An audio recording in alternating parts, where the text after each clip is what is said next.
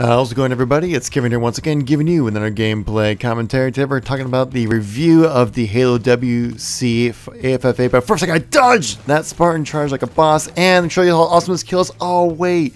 Yeah, I'm recording this through theater mode and I couldn't help it every time uh, that clip happened, it would cut to somebody else for point of view for whatever reason.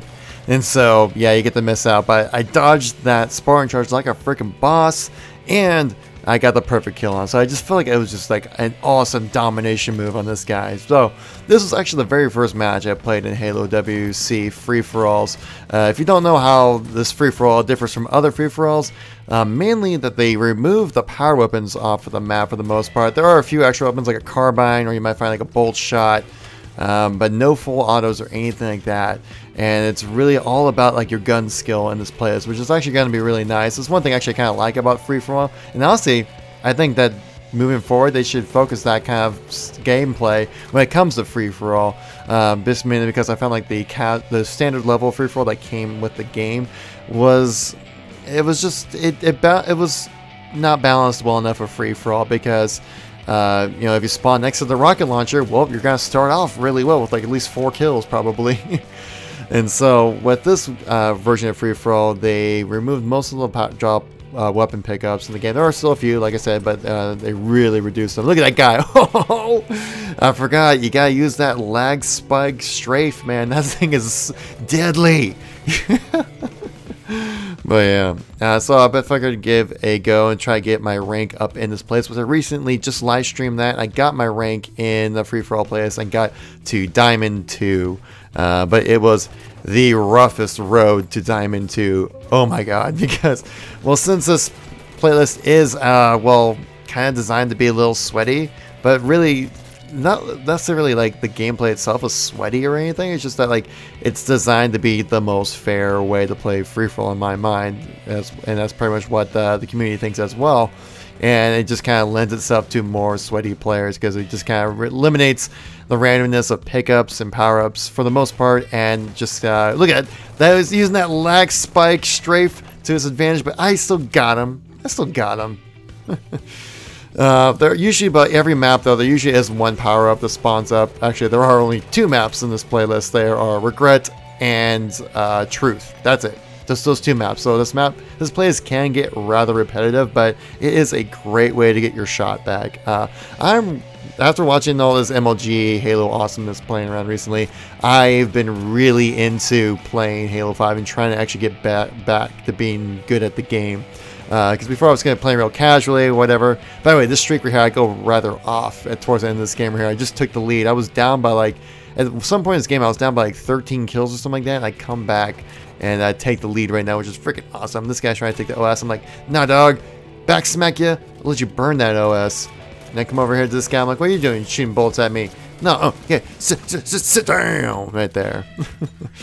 Uh, and look at this guy. Oh, yeah, he just got disappointed. That's get for using a Spartan charge there, son. Mm. But yeah, so uh, free for all, the, the, Halo WC free for all is actually a great way to get your shot back because you get put into so many gunfights, and uh, depending on the skill level you get put into, you really uh, get matched up against uh, actually rather well skilled players. But trust me, when I was getting my rank, uh, it was a rough road. So I'll show you. I'll show you in this video why. Because this first match, you know, you walk around, you see me. I'm walking around, kicking ass, doing awesome. I'm really enjoying myself. I'm like, wow, Halo WC FFA is really fun. I'm really enjoying myself. I've won my first game with what 42 kills, I'm like 42 and 13. I'm like, yeah, I'm feeling real positive about myself. Let's jump into the next match and see what we can do. I'm really enjoying myself. This is going to be great. Can't wait to the next match. But uh, the next match, not exactly in my favor because I actually get teamed, I get placed up against an actual Halo Pro from Team Reciprocity, Mikwen. No joke, he's in this game right here. And you can definitely tell he's in the game because um, I go from going what 42 and 13 to I think going like 8 and 30 or something ridiculously horrible. Because this game's like, oh, so you won your first match. That's great. How about you play against the best players of Halo?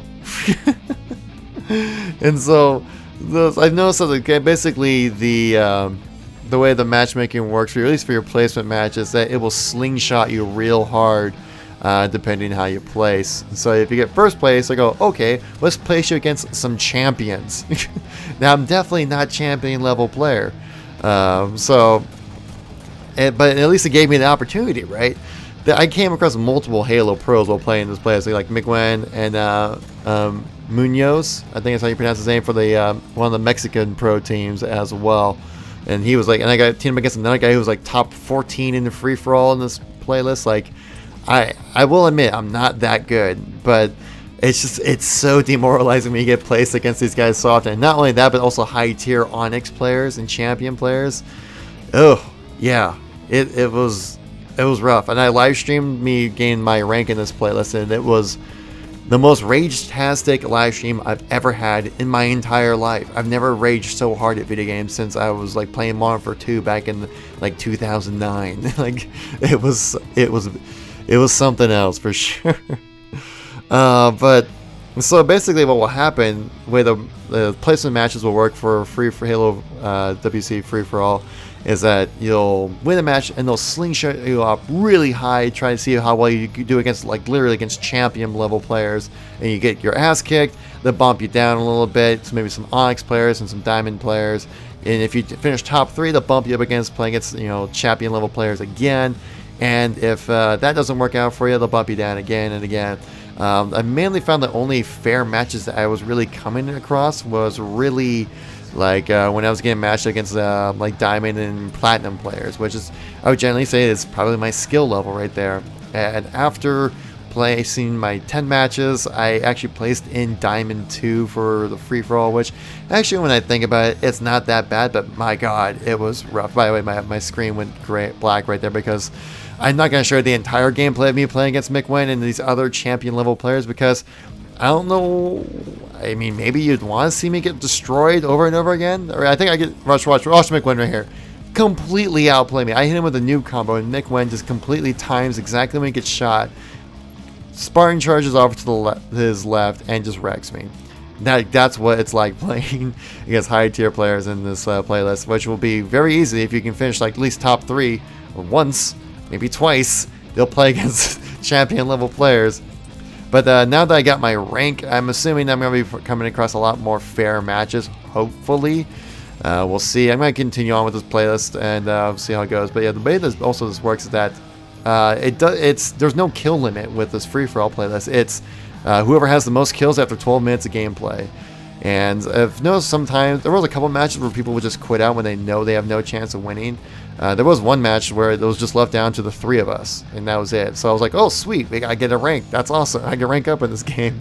Um, but uh, I didn't really notice uh, people quitting out too much. Uh, so, you know, apparently it's a, a, an issue if you're at the higher tier level gameplay.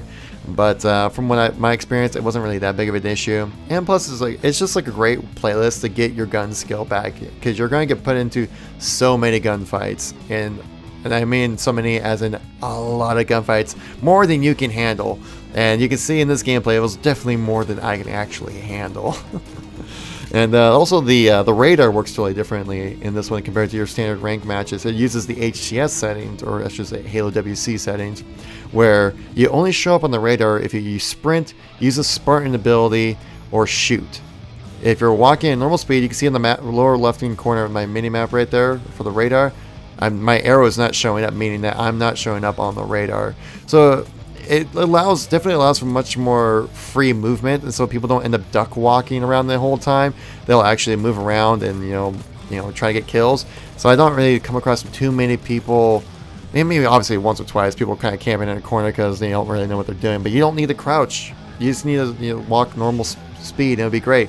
Now I would like to see maybe like a 10% boost in the normal walking speed in uh, this play. It's just because like it feels like you're moving so slow when you're going at normal walking speed because uh, you know, obviously you're designed to be sprinting when you're not uh, shooting anything pretty much.